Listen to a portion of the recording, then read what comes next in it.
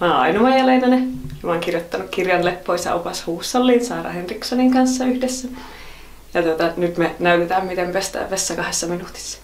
Ohjeet löytyy yhtä kirjasta, mutta näin se käy siis, että ensin pestään vessa, pannaan teelusikallinen saniteettipesuainetta.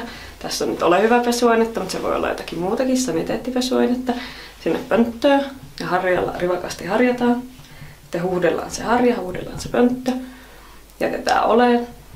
Suikastaan siihen pöntön pinnoille etikkaa. Mulla on laimennettu etikkaa suihkupullossa.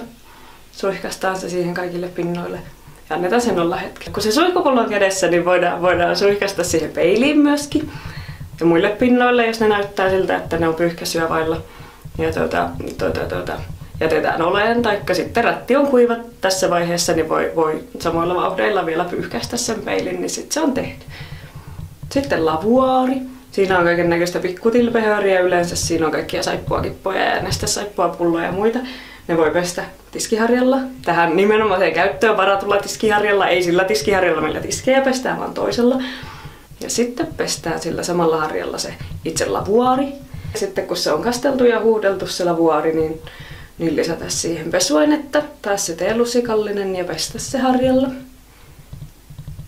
Ja sitten kun se on tehty, niin ruvetaan pyyhkiä sitä lavuaaria. Voi pyyhkäistä samalla se rätti on nyt kourassa, niin voi pyyhkäistä vähän seinää ja, ja käsisuihkua ja vessapaperitelinettä ja mitä siinä nyt näkyy semmosia. Pyyhkäistään ne ja sitten huudellaan sitä rättiä kraanan, kraanan alla ja pyyhitään se lavuaari alta ja päältä valmiiksi. Sitten meillä on enää pönttö jäljellä. Sitten kun koskee rätillä pönttöön, niin rätillä ei saa koskea enää mihinkään muualle. Se on sitten niinku, niinku pilalla. Jos on unohtanut sen lavuaarin, niin sitten täytyy ottaa uusi rätti sitä varten. Mutta me ei olla unohdettu, me ollaan tehty sen, niin nyt pyyhitään pönttö. Että aloitetaan päältä, niin kuin ulkoa sisälle päin pestään se pönttö ihan järjestyksessä, avataan ne, avataan ne kannet ja renkaat ja pyyhitään joka, joka pinta siitä.